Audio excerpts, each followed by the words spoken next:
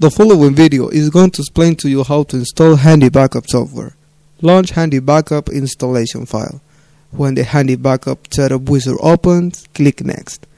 Please read the license agreement and then click Next. The application selection window will open. Select the application you want to install. Select Handy Backup to install local version of the program.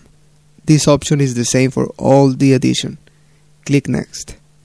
Select the destination folder for installation and then click Next. If you have everything set up, click Install. Handy Backup will be installed on your computer.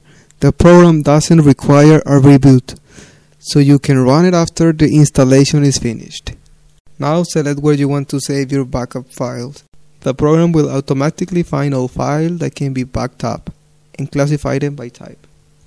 Congratulations, you have successfully created first 5 tasks.